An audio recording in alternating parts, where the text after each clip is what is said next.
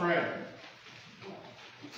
Lord Jesus Christ, thou Son of the Most High, who no longer dwellest on earth in lowliness and poverty, but art seated on the right hand of the Father, a mighty Lord over all things in heaven and on earth, filling and ruling all.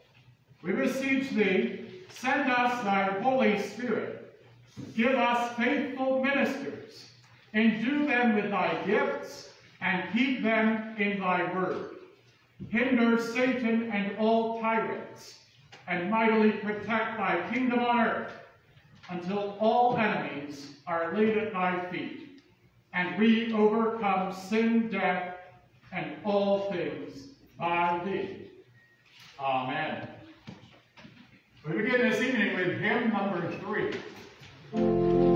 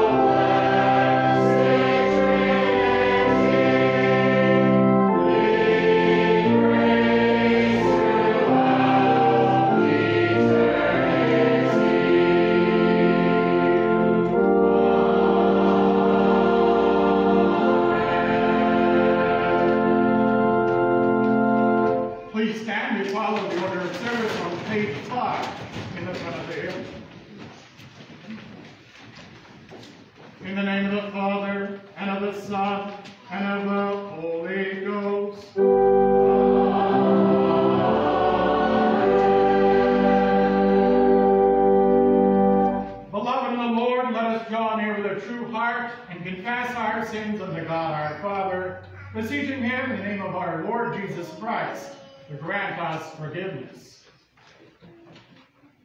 Our help is in the name of the Lord.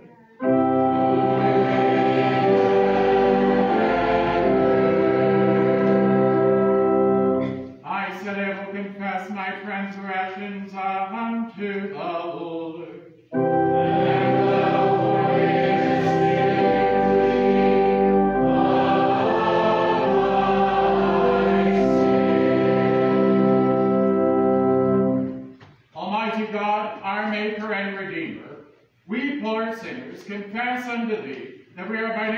sinful and unclean, and we have sinned against thee by thought, word, and deed. Wherefore we plead for refuge to thine infinite mercy, seeking and imploring thy grace for the sake of our Lord Jesus Christ. O most merciful God, who hast given thine only begotten Son to die for us, have mercy upon us, and for his sake grant us remission of all our sins, and by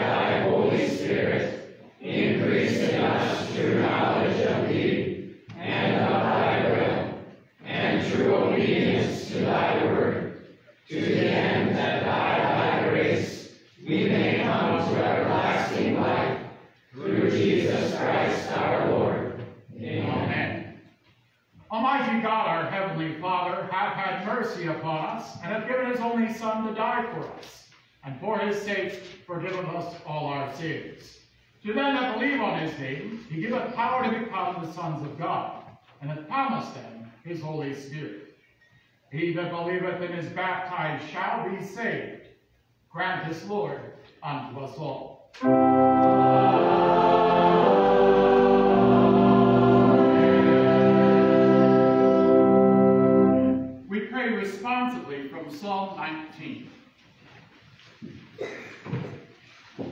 There is no speech nor language. Where their voice is not heard, Their line has gone out through all the earth, and their words to the end of the world. in them he has set a tabernacle for the sun. The law of the Lord is perfect, converting the soul. The testimony of the Lord is sure, making wise the simple.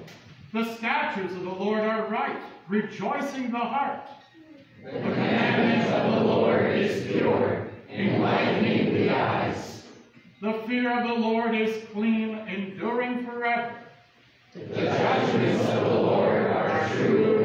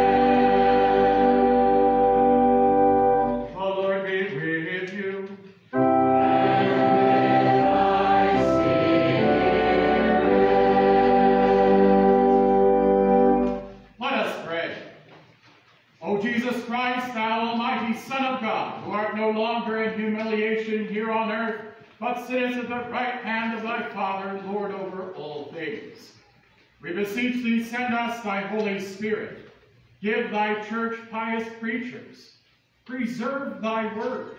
Control and restrain the devil and all who would oppress us. Mightily uphold thy kingdom until all thine enemies have been put under thy feet, that we may hold the victory over sin, death, and the devil. Through thee, who livest and reignest with God the Father and the Holy Ghost, one true God, world without end.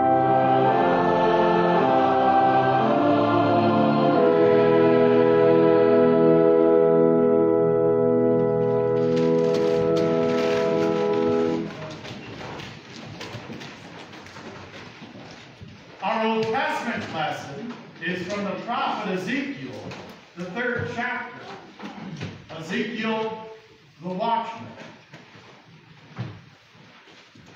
Now it came to pass at the end of seven days that the word of the Lord came to me, saying, Son of man, I have made you a watchman for the house of Israel. Therefore, hear a word from my mouth and give them warning from me. When I say to the wicked, You shall surely die, and you give him no warning, nor speak to warn the wicked from his wicked way to save his life, that same wicked man shall die in his iniquity, but his blood I will require at your hand. Yet, if you warn the wicked, and he does not turn from his wickedness, nor from his wicked way, he shall die in his iniquity, but you have delivered your soul. Again, when a righteous man turns from his righteousness and commits iniquity, and I lay a stumbling block before him, he shall die, because you did not give him warning. He shall die in his sin, and his righteousness which he has done shall not be remembered, but his blood I will require at your hand. Nevertheless, if you warn the righteous man that the righteous should not sin, and he does not sin, he shall surely live, because he took warning. Also you will have delivered your soul. Here ends the lecture. We sing hymn 403. thank you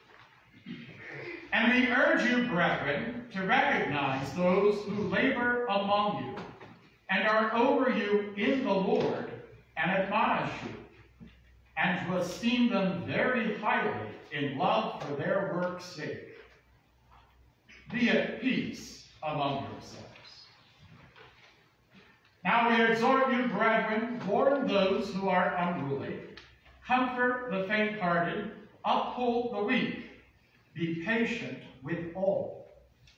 See that no one renders evil for evil to anyone, but always pursue what is good both for yourselves and for all.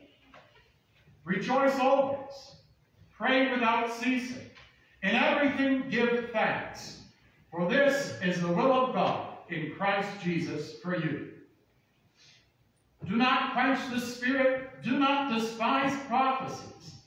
Test all things, hold fast what is good, abstain from every form of evil. Here ends the epistle. Please stand for the gospel.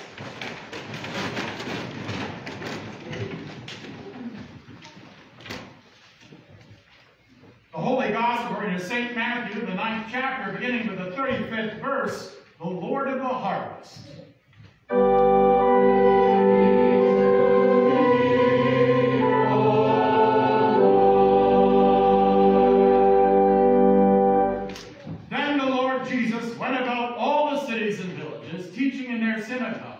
Preaching the gospel of the kingdom, and healing every sickness and every disease among the people. But when he saw the multitudes, he was moved with compassion for them, because they were weary and scattered, like sheep having no shepherd.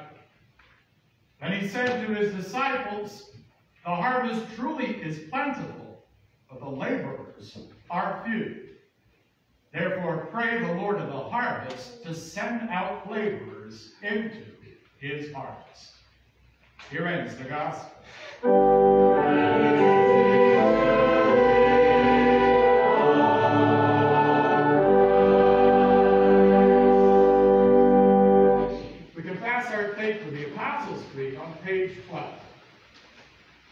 I believe in God the Father Almighty, maker of heaven and earth, and in Jesus Christ, his only Son, our Lord, who was conceived by the Holy Ghost, born of the Virgin Mary, suffered under Pontius Pilate, was crucified, dead, and buried. He descended into hell. The third day he rose again from the dead he ascended into heaven, and sitteth on the right hand of God the Father Almighty. From thence he shall come to judge the quick and the dead.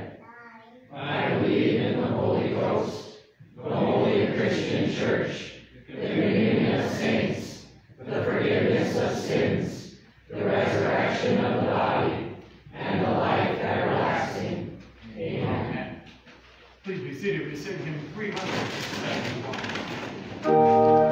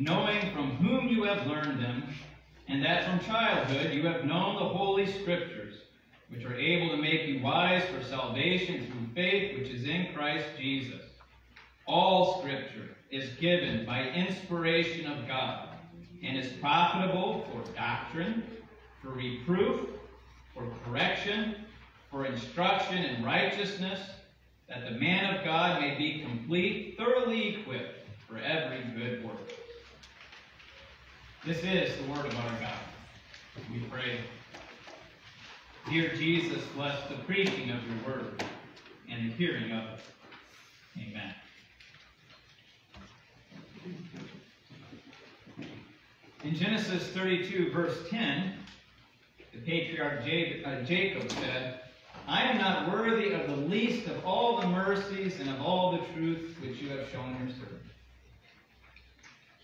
In Mark chapter 1, verse 7, we read how John the Baptist preached, There comes one after me who is mightier than I, whose sandal strap I am not worthy to stoop down and loose.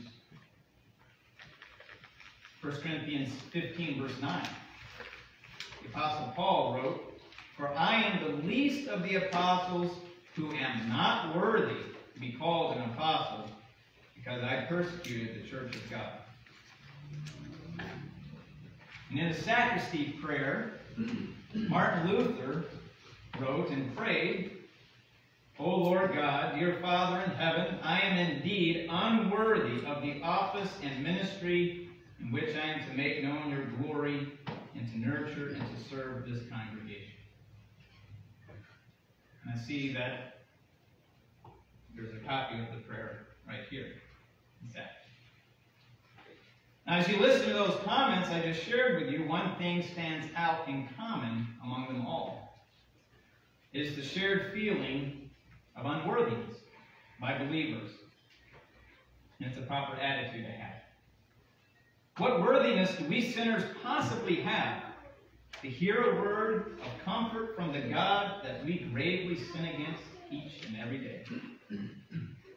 What right do we wretched sinners have to expect that the holy God of heaven should stoop down to speak to us?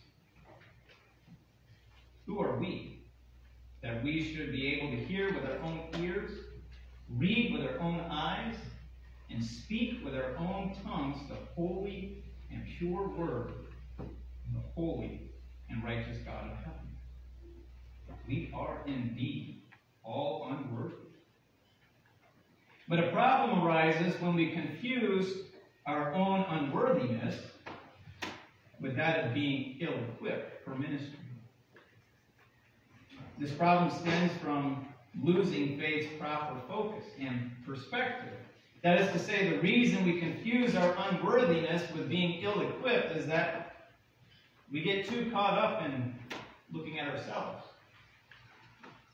But God does not call and equip us for ministry on the basis of ourselves. Rather, our text points out that God equips his chosen vessels for ministry on the basis of his word. It is God himself who establishes the pastoral ministry, and he establishes and builds it upon the foundation of his holy word and sacraments, not on the basis of the sinner's wit or eloquence. As the hymnist states, the words which absolution give are his who died that we might live. The minister whom Christ has sent is but his humble instrument. We can study, continue to study our text. May we be reminded that with God's word, we are thoroughly equipped to serve, and we are thoroughly equipped to be served. And when you look through Paul's letters to Timothy, it would seem as though Timothy certainly understood his own unworthiness as a sinner, and likely also struggled with his own feelings of being ill equipped. For example, in 1 Timothy 4.12, Paul says to Timothy, let no one despise your youth. Later in that same letter, Paul addresses what appears to be Timothy's weak stomach, telling him to drink a little wine for his stomach's sake. Perhaps his weak stomach stemmed from Timothy's feelings of anxiety about his personal ministry. And finally, and most conclusively, in 2 Timothy 1 7, we read these words the Apostle Paul to Timothy Therefore, I remind you to stir up the gift of God which is in you through the laying on of my hands. For God has not given us a spirit of fear, but of power and of love and of a sound mind. Now, the point in bringing all of this up is to illustrate that our text before us from 2 Timothy 3 14 and 17, this text was not written in a vacuum.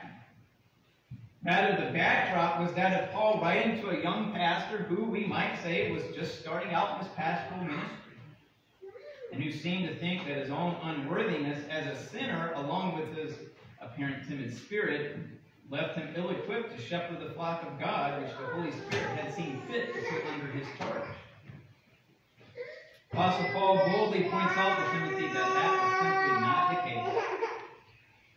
In fact, in the chapter after our text, in 2 Timothy chapter 4, Paul expressly reminds Timothy of what his pastoral duties were. Paul says, I charge you therefore before God and the Lord Jesus Christ, who will judge the living and the dead at his appearing in his kingdom. Preach the word. Be ready in season and out of season. Convince, rebuke, exhort with all long suffering and teaching. For the time will come when they will not endure sound doctrine, but according to their own desires, because they have itching ears, they will heap up for themselves teachers. And they will turn their ears away from the truth, and turn aside to fables. But you be watchful in all things, endure afflictions, do the work of evangelists, fulfill your ministry.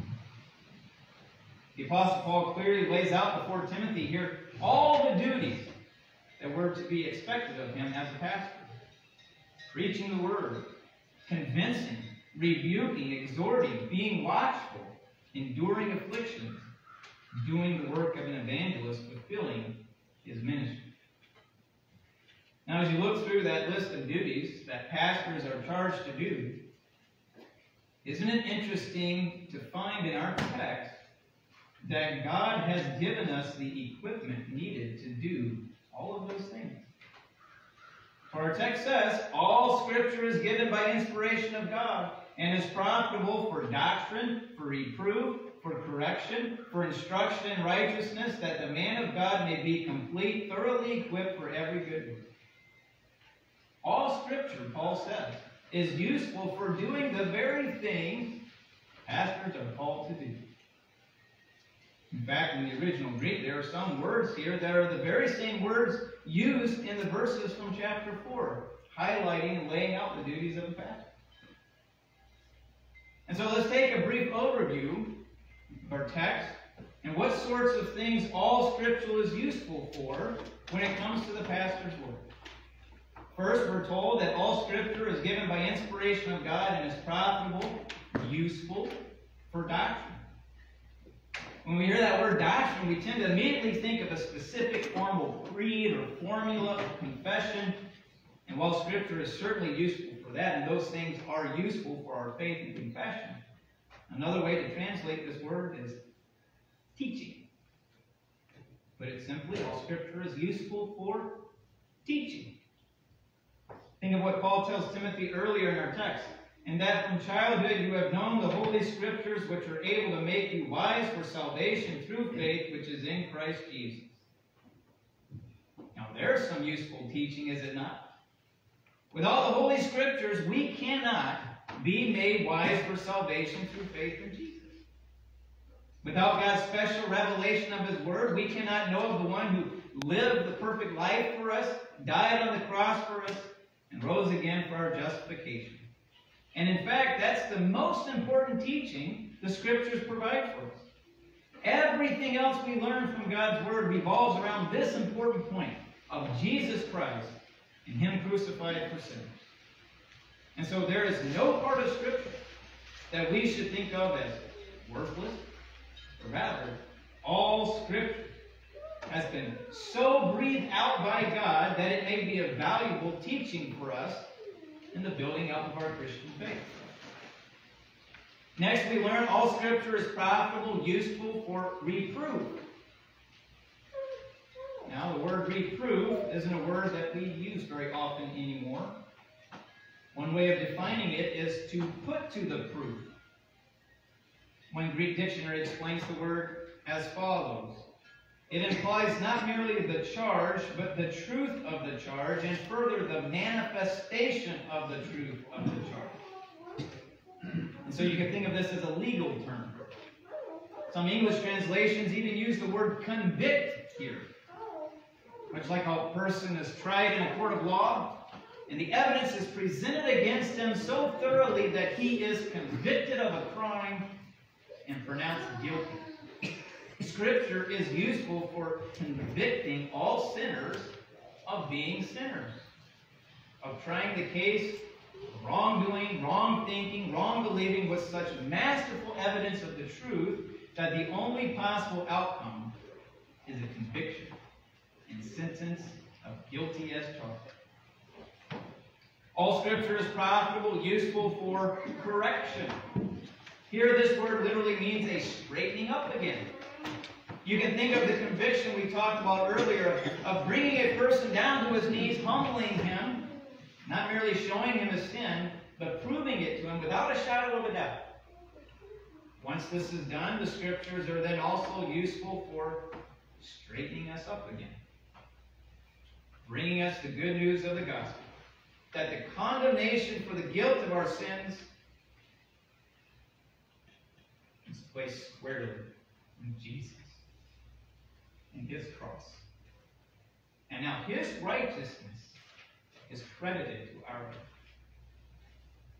First, we're taught what God expects of us in His Word. We're then convicted in the court of God's law that we have failed to do those things. And then we're given the correction needed to straighten up again. Living and loving God's teaching because Jesus covers us with His holy, precious blood. Finally, all Scripture is profitable, useful for instruction in righteousness. Now, here, the word of instruction, we have the very same word that is used in Ephesians 6, verse 4, where fathers are commanded to be involved in the Christian education of their children, and they are told to bring them up in the training, that's the same word there, training and admonition of the Lord. This word encompasses of the child's training, especially including the cultivation of his mind and his morals, but it also includes the idea of discipline. And so you could think of this as a disciplined training in righteousness. In other words, it's not something that happens with the snap of your fingers. Rather, it takes work, it takes time, it takes chastening, it takes discipline. You can think of the disciplined training of the Olympic athlete. Many young children watch the Olympic athletes on the television. They think they can simply just grow up into that level of athleticism as they get older without much effort. They don't see the work, the effort, the chastening of the discipline training that goes on behind the scenes to form that Olympic athlete. A lifetime of training. That's often what we Christians want as well. We want life's problems to simply vanish away with the snap of a finger without any effort on our part. That is to say, without opening our Bibles and using the Scriptures to our advantage in a disciplined training in righteousness. Paul is explaining to Timothy, it's not how it works. If you go back and you look at the beginning of verse uh, 14 of our text, you see, begins with the word but. It's a conjunction. Paul is contrasting something with that word. Prior to our text, Paul writes this Yes, and all who desire to live godly in Christ Jesus will suffer persecution, but evil men and impostors will grow worse and worse, deceiving and being deceived. And then he continues, But you must continue in the things which you have learned and been assured. He then points to the scriptures and all of the usefulness that they bring. This is the discipline, training, and righteousness of the Christian life that the scriptures provide. as we continue in them. This is the work of the pastor. Encourage members to be in the Word that they may remain disciples of the Word. When we fail to continue in the Holy Scriptures, we're putting ourselves in danger of becoming those evil men and impostors, growing worse and worse, deceiving and being deceived. But with God's useful word, Paul explains what the result is. That the man of God may be complete, thoroughly equipped for every good work. Now, because we may have a tendency sometimes to gloss over those words, I'm going to read that again and emphasize some important phrases. That the man of God may be complete, thoroughly equipped for every good work. Let us realize what we're being told here. God's word is enough. With God's word, you are now complete, thoroughly equipped for every good work of your pastoral ministry. The reason we might fail to recognize this truth or gloss over it at times is because Satan and the world convinces us that God's word isn't enough. We've been conditioned to think that for our hardships and heartaches in life, we really need the answers from the secular world. Secular philosophy, secular psychology, secular counseling practices and methods, in short, man's wit and eloquence. Satan has so convinced us Christians that what the world uses to try and solve all of their problems are enough. That we now fail to see the all-encompassing usefulness of God's Word. That the man of God may be complete, thoroughly equipped for every good work.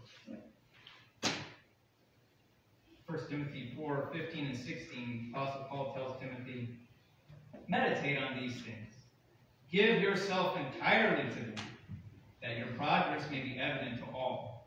Take heed to yourself and to the doctrine.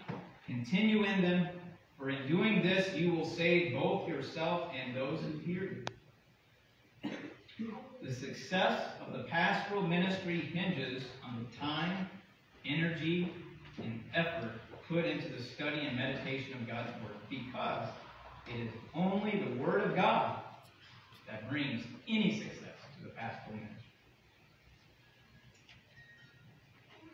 So, despite all of your unworthiness and weaknesses, failures, with Holy Scripture, you are thoroughly equipped to serve.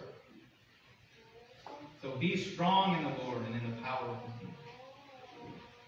And with that same Holy Scripture, the members, the members of Calvary Lutheran Church are thoroughly equipped to be served. The person before you this day is divinely called by God Himself to be your new pastor. As you have heard enumerated from our text, all the duties your pastor has been charged by God to do on your behalf for your soul care, it's important to remember two things. First, this is not just the ministry of Pastor Paul Agenten. This is the ministry of Calvary Lutheran Church. I draw your attention to the scripture lesson from 1 Thessalonians, where you read of a lot of the same directives that are given to the pastor. Now we exhort you. Here Paul's writing to a group of Christians, a congregation. Brethren, warn those who are unruly, comfort the faint-hearted, uphold the weak, be patient with all. It's also important to remember that your pastor is not some sinless heavenly being. He has not been called to be your pastor because he is any holier than you are. Rather, he is a sinner just like the rest of you. That your pastor is an unworthy sinner like you is no reason to disregard his pastoral care. If he comes to you with a word of pastoral concern, you do well to listen to him as the one the Lord himself has called to watch over your soul. In that moment when he comes to you, he is being sent by the Lord of the church to bring a saving word of God to you. Listen to it for the strengthening of your faith. Ignore it at your own peril. I would direct you back to our Old Testament lesson where God told the prophet Ezekiel, When I say to the wicked, You shall surely die, and you give him no warning, nor speak to warn the wicked from his wicked way to save his life, that same wicked man shall die in his iniquity, but his blood I will require at your hand. Yet if you warn the wicked, and he does not turn from his wickedness, nor from his wicked way, he shall die in his iniquity, and you have delivered your soul. Very plainly here, God says to Ezekiel that if he does not warn the people of their sin and spiritual danger, that is on him. But if he does warn them, and they do not listen, that is on them. Likewise, if your pastor recognizes you are in spiritual danger, but does not warn you, that is on him. If he warns you and you do not listen, that is on you. Again, as a fellow sinner, your pastor has his own weaknesses, his own struggles with sin, just like all of you. There will be times when he will make mistakes in his ministry, but thankfully, you all have the great joy and privilege of going to the same well of forgiveness provided for you by Jesus' blood and righteousness. Covers over the sins of both pastor and parishioner alike. The ministry of Calvary Lutheran Church then is well equipped because it is founded on the message of Christ crucified for sin. And so to pastor and parishioner alike, I re-echo the words of our text, you must continue in the things which you have learned and been assured of, knowing from whom you have learned them, and that from childhood you have known the Holy Scriptures, which are able to make you wise for salvation through faith, which is in Christ Jesus. That is the end goal of it all, isn't it? That we might be made wise for salvation through faith, which is in Christ Jesus. He has given us His Word for that very purpose. He gives us each other to help one another from straying into the deceitful lies of the devil, the empty philosophies of this world. He gives us pastors to help shepherd us in the green pastures and still waters of the pure Word of truth. All Scripture is given by inspiration of God, so that the pastor may serve and the parishioner may be served to the saving of souls and the glory of God's name. For the inspired word of God in your heads and hearts, preached from this pulpit and read in your homes, you are truly complete, thoroughly for every good work. All praise and thanks to God. Glory be to Jesus. Amen. Now may this peace of God that surpasses all understanding guard your hearts and minds through Christ Jesus our Lord. Amen.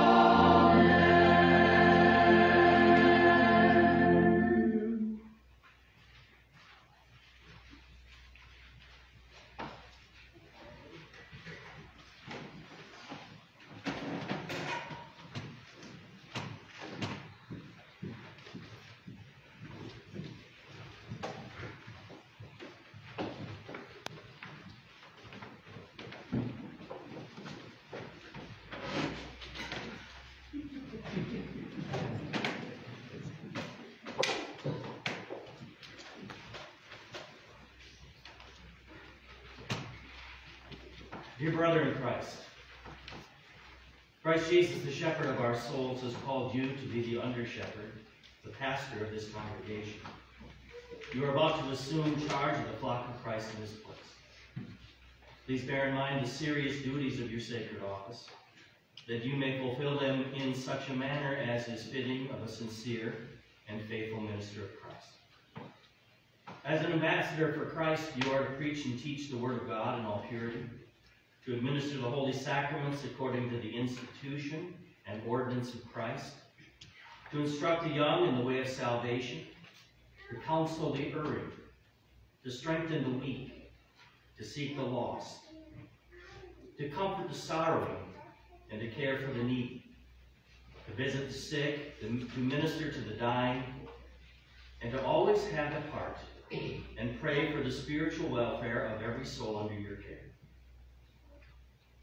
You are to give yourself to the meditation and study of the Scriptures, to administer your, administer your office in agreement with the Word of God, and to show yourself and your family a pattern to others in devotion and godliness, giving no offense in any matter, so that the Savior not be ashamed. So says the Apostle Paul. This is a faithful saying, if a man desires the, the position of a bishop, he desires a good work. A bishop, bishop then must be blameless, the husband of one wife, temperate, sober-minded, of good behavior, hospitable, able to teach, not given to wine, not violent, not greedy for money, but gentle, not quarrelsome, not covetous, one who rules his own house well, having his children in submission with all reverence. For if a man does not know how to rule his own house, how will he take care of the church of God? Not a novice, lest being puffed up with pride he fall into the same condemnation as the devil. Moreover, you must have a good testimony among those who are outside, lest he fall into reproach and the snare of the devil. Paul also said to young Timothy, Preach the word. Be ready in season and out of season, convince, rebuke, exhort with all longsuffering and teaching. Be watchful in all things, endure afflictions, do the work of an evangelist. Fulfill your ministry. Be an example to the believers in word, in conduct, in love, in spirit, in faith, and purity. Till I come, give attention to reading, to exhortation, to doctrine. Do not neglect the gift that is in you, which was given to you by prophecy with the laying on of the hands of the eldership. Meditate on these things, give yourself entirely to them, that your progress may be evident to all. Take heed to yourself and to the doctrine. Continue in them. For in doing this, you will save both yourself and those who hear you.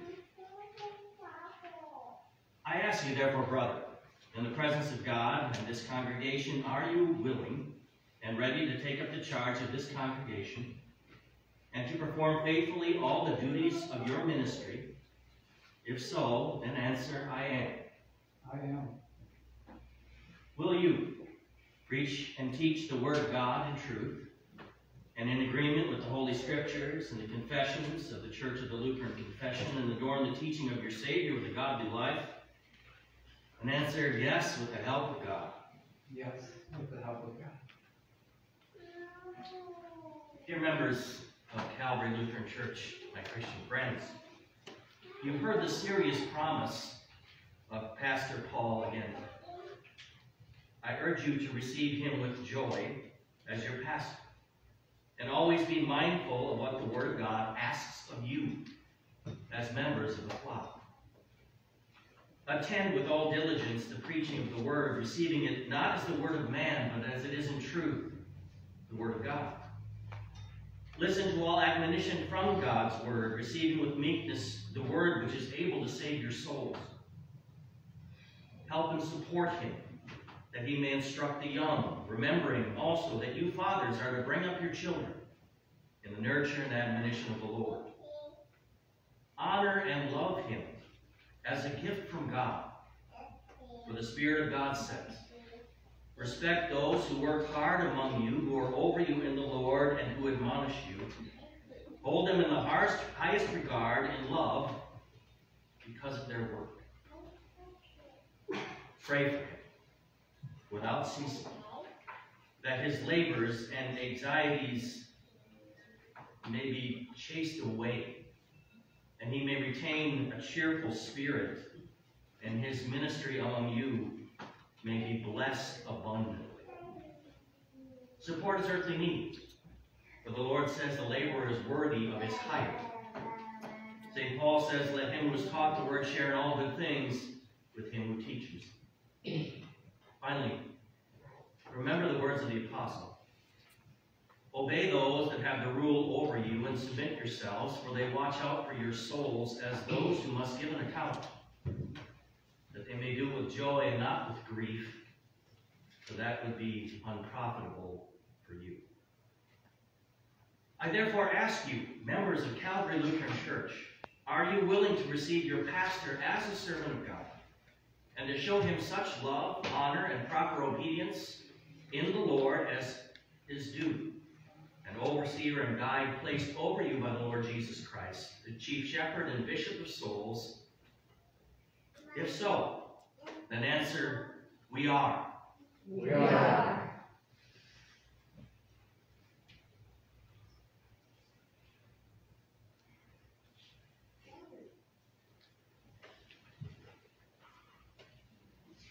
Dear brother, on the ground of your call, I now install you as pastor of Calvary Lutheran Church in the name of the Father, and of the Son, and of the Holy Spirit. Charging you to be diligent and faithful in the performance of your duties, as you shall give an account of it on the day of Christ's appearing. Now may the God of peace, who through the blood of the eternal covenant brought back from the dead our Lord Jesus, that great shepherd of the sheep, equip you with everything good for doing his will. And may he work in us what is pleasing to him through Jesus Christ, to whom be glory forever and ever. Amen. I ask at this time that the brothers would come forward who have words of encouragement from the scriptures to speak to Pastor Paul Agenten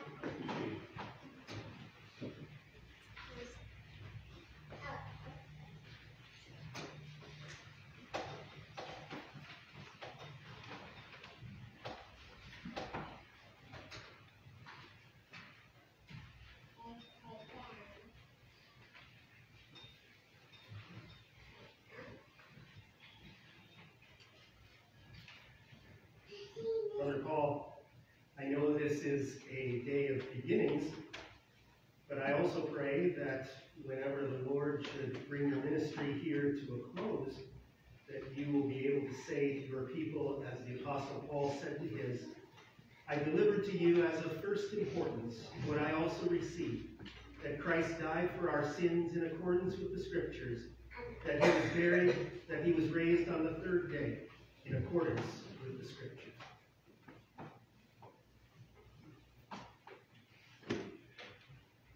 Paul from the fifth book of Moses. For this commandment which I command you today is not too mysterious for you, nor is it far off. It is not in heaven that you should say, Who will ascend into heaven for us, and bring it to us, that we may hear it and do it.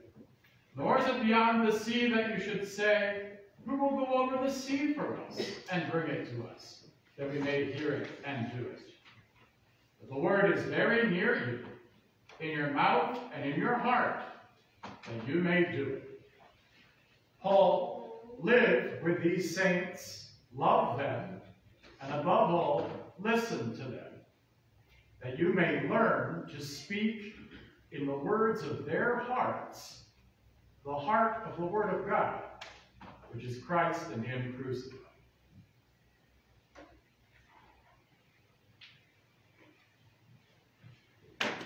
Be steadfast, immovable, always abounding in the work of the Lord, knowing that your laboring is not in vain in the Lord.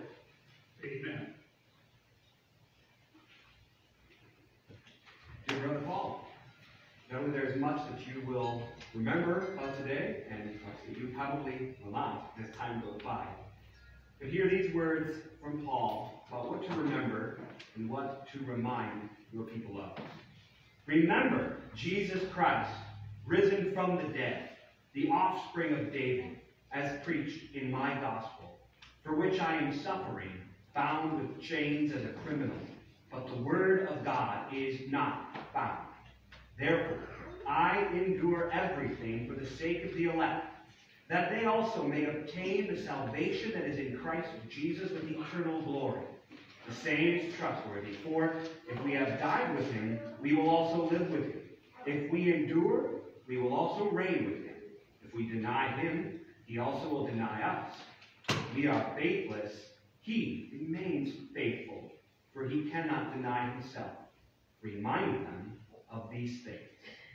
Amen.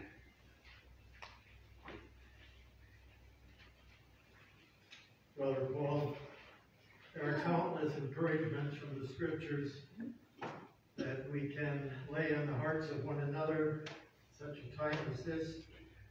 I want to thank Pastor Grieve for conceding to me the use of the Bible passage I had in mind initially for this occasion, and he did too.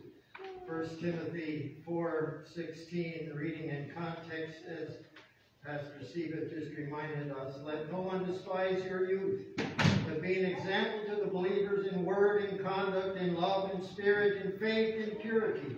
Till I come, give attention to reading, to exhortation, to doctrine. Do not neglect the gift that is in you, which was given to you by prophecy, with the laying on of the hands of the eldership. Meditate on these things, give yourself entirely to them, that your progress may be evident to all. And then the words, take heed to yourself and to the doctrine. Continue in them, for in doing this you will save both yourself and those who hear you.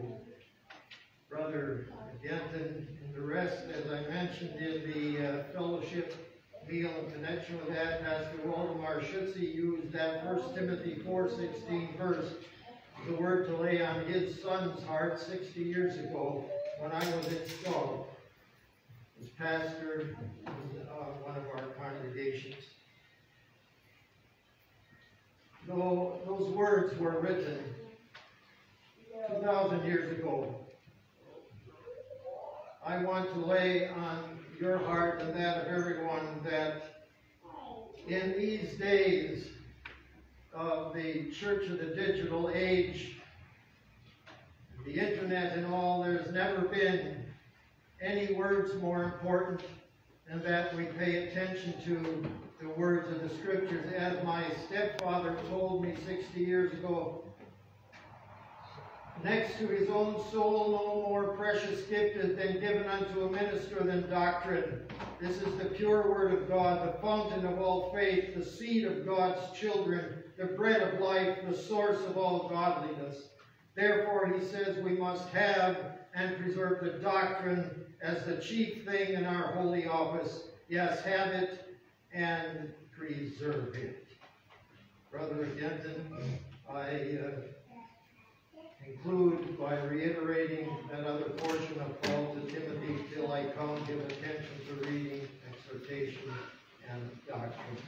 God's richest blessings as you minister to the Savior's lambs and sheep here in the Marquette area.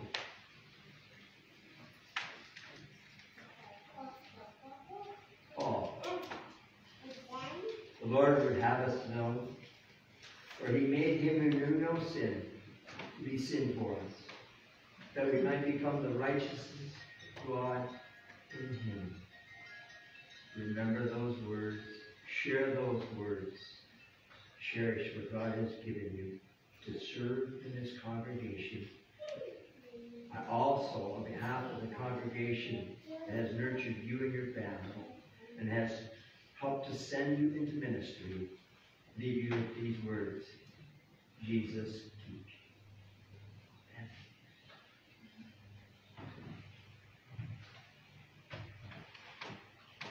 Brother Paul, I leave you with these words, the great Psalm 119, a psalm that teaches us the joy and the strength and the comfort that we have from God's Word. Will not share the whole psalm with you, only these verses. My soul clings to the dust. Revive me according to your word. I have declared my ways, and you answered me. Teach me your statutes. Make me understand the way of your precepts. So shall I meditate on your wonderful works. My soul melts from heaviness. Strengthen me according to your word. Remove from me the way of lying, and grant me your law graciously. I have chosen the way of truth. Your judgments I have laid before me. I cling to your testimonies. O Lord, do not put me to shame. I will run the course of your commandments, for you shall enlarge my heart. May the Lord bless your ministry here among God's lambs. Calvary Lutheran, Marquette. Thank you, brothers. You may be seated.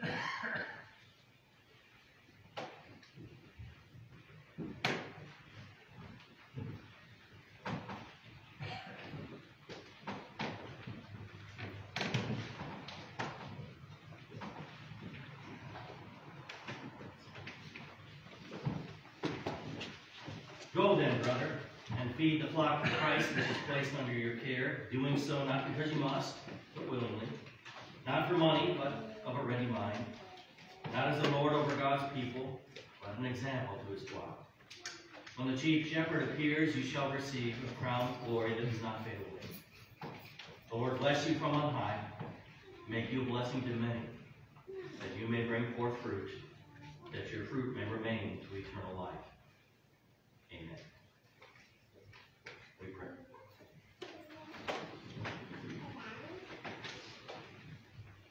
O Lord Jesus Christ, eternal and only Son of God, who sits at the right hand of the Father and gives gifts to men, sending forth pastors and teachers for the work of the ministry and the building up of your spiritual body, the church. We thank and praise you that you have again provided this flock with a faithful shepherd. And we pray, grant to both pastor and people your heavenly grace, so that they may do what is pleasing in your sight, holding on to faith and a good conscience, and finally, with all the elect, obtain everlasting life. Amen.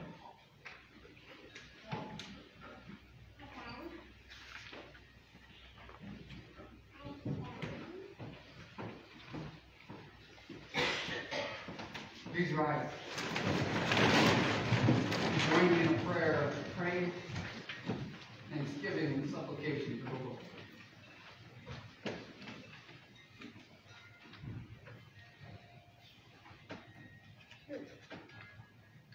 Sing to the Lord a new song, for he has done marvelous things. His right hand and his holy arm have gained him the victory. The Lord has made known his salvation. His righteousness he has revealed in the sight of the nations. He has remembered his mercy and his faithfulness to the house of Israel. All the ends of the earth have seen the salvation of our God. Shout joyfully to the Lord, all the earth. Break forth in song, rejoice, and sing praises. Sing to the Lord with the harp, with the harp and the sound of a song, with trumpets and the sound of a horn. Shout joyfully before the Lord, the King.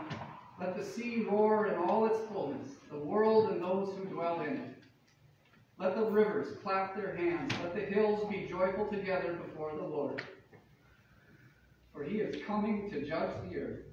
With righteousness he shall judge the world, and the peoples with equity.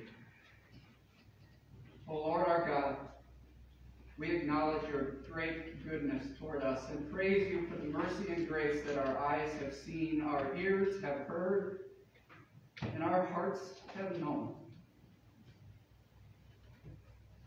We sincerely repent of the sins of this day and those of the past.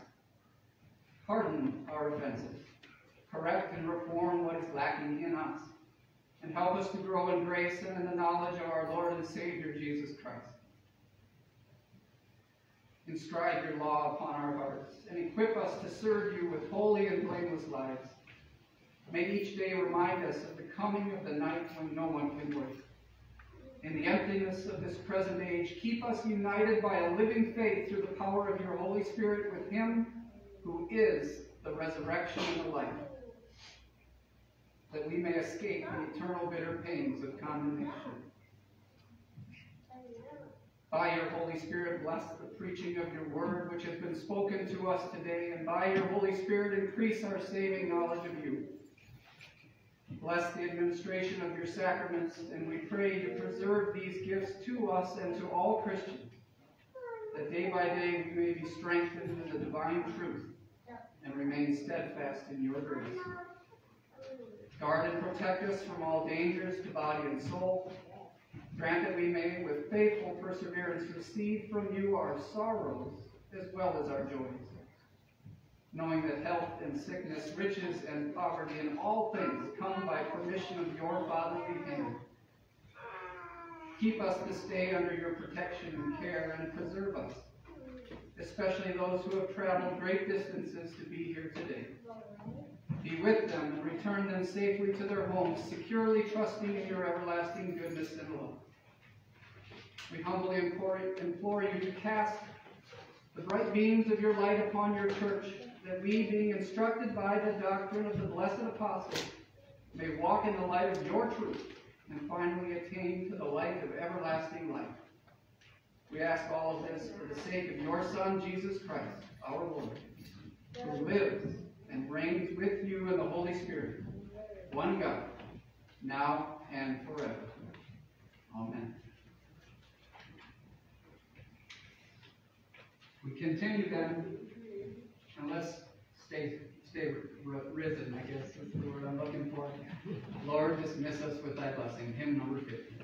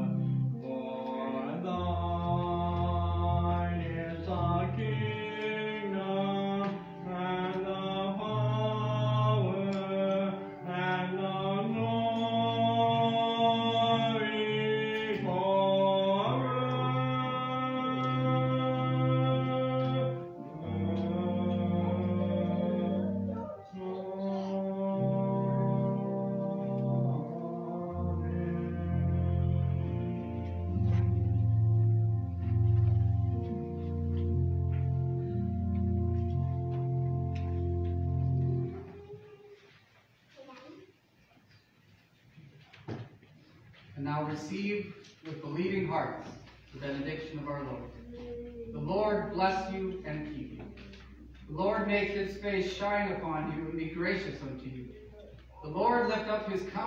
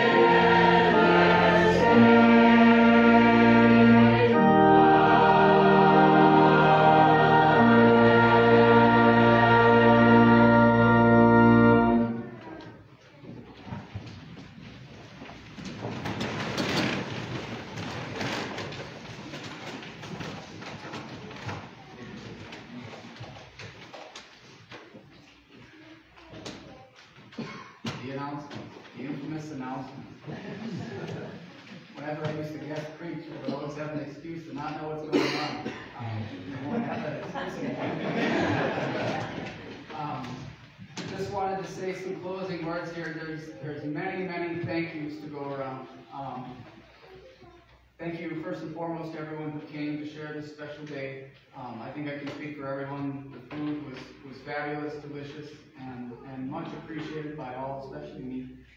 Um, thank you to those who took part in the service, to the choir, to the soloists, even though I did my best to get in the way of that, I'm sorry. Um, helping us get moved here, those who have lent a hand physically, financially, um, given us this wonderful home to live in.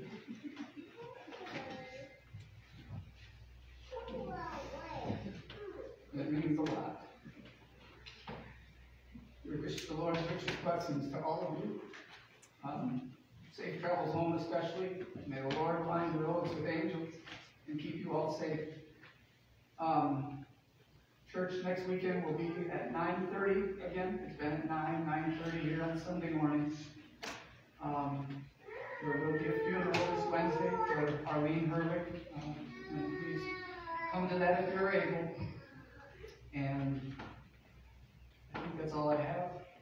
And just the deepest gratitude to the Lord uh, for calling me here to serve you and uh, do my best to do that please call. So, turn it over to you. Well, first I have to make a confession that I've been coveting. I see this crowd out here, and I, uh, I have some letters of greeting and um, welcome, and well, we'll just read them and see what they're about. Um, the first one is from uh, Pastor Michael Wilkie, also the president of the uh, of our church line in CLC, Church of Lutheran Confession. Dear brothers and sisters of Calvary Lutheran Church, grace, mercy, and peace from God the Father and Christ Jesus our Lord. I am so thankful that the Lord has answered your prayers by providing you with a new shepherd. I am confident that Pastor Agenten and his family will be a real blessing to your congregation. I'm also confident that you will support and encourage him and his family in every way possible. I had the privilege of reading the sermon you just heard from Pastor Stephen. What a wonderful reminder that the Bible is God's inspired word. In this godless world, it is the one source of absolute and timeless truth, incomparably profitable for us sinners in so many ways.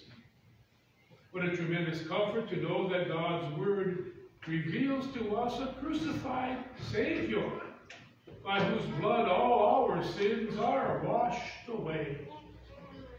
You can be sure that Pastor Agenten will proclaim to you and shepherd you with nothing more and nothing less than the Word of God while always endeavoring to point you to Jesus and the salvation he won for us all. May the Lord richly bless your partnership in the gospel. May you grow together in the grace and knowledge of our Lord and Savior Jesus Christ. To him be glory both now and forever. Amen. 2 Peter 3.18 Yours in Christ, Pastor Michael Wilkie. And this from St. John's uh, Lutheran Church and School of Okabena, Minnesota. Dear members of Calvary and pastor-elect again, so it's already on. uh, we rejoice with you on this special occasion as Pastor Agenten is installed as your shepherd and you begin the work that the Lord has called you to do. The Holy Spirit has once again blessed his flock with the gifts that are needed for the gospel ministry as he makes clear in the fourth chapter uh, of, of Ephesians. And he himself gave some to be apostles, some prophets, some evangelists, and some pastors and teachers for the equipping of the saints, for the work of ministry, for the edifying of the body of Christ. May the Lord who has blessed, who has matched the special gifts of Pastor Agenten with the unique opportunities of Calvary Lutheran Church richly bless his work in your, in your midst in Christ, members and pastor St. John's Evangelical Lutheran Church and School. And finally, this from uh, Nathan Pfeiffer, pastor of Berea Evangelical Lutheran Church, Inver Grove Heights. Dear brothers and sisters in Christ at Calvary and St. Peter's, and especially on this day, you, Pastor Agenten and Courtney, in the name of Jesus Christ, the Lord of the church, who ascended on high and gave gifts to men, including the gift of pastors, grace and peace be with you all. On this occasion of your ordination and installation, we give thanks to the Lord of the church who has prepared, equipped, and provided you to his church for the care of the people. What the Apostle Paul says of the pastoral ministry has proven itself true for the last 2,000 years. This is a faithful saying, If a man desires the position of a bishop, he desires a good work. The pastoral ministry certainly is work. It is work to diligently study God's holy word, prayerfully seeking to divide it correctly. It is work to go after the straying and the lost, to care for, the, for those who mourn, to comfort the repentant sinner, and to carry out Christ's commission to teach every each to teach each everything which he has commanded us. While it is a work, it is also a good work. It is good because of Jesus Christ. He has done the hard work of redeeming lost sinners by his death on the cross.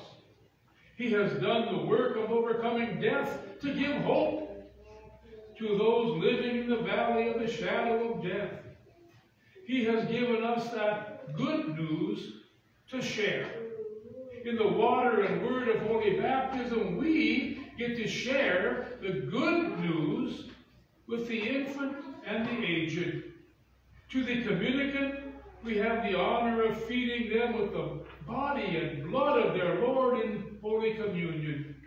Truly, the pastoral ministry is work, but it is a good work.